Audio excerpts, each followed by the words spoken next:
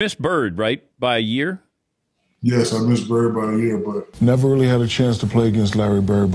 Somebody was telling me that Bird was the biggest smack talker in the game. And they say, uh, Dennis Scott told me Larry Bird told him the move he was going to do and do it. I mean, and, and did it. So, you know, I was, uh, I wasn't a fan of Larry Bird growing up. Well, I, I actually used to hate Larry Bird. I, I, I, I hated him. Well, why? I thought everything he did was lucky. But. I mean, because, well, not hate him. I was sort of like, you know, jealous of him because he was a regular guy that did everything. He shot it in your face. He had to fade away. One time, I was watching a game. They was playing somebody, and I was betting this guy, and he was falling out of bounds, and he shot that thing over the backboard and it went in. I was like, you know, and, and you know, I thought most of what he did was luck. But as I, you know, got older and kept watching, I, I just knew that it was skill.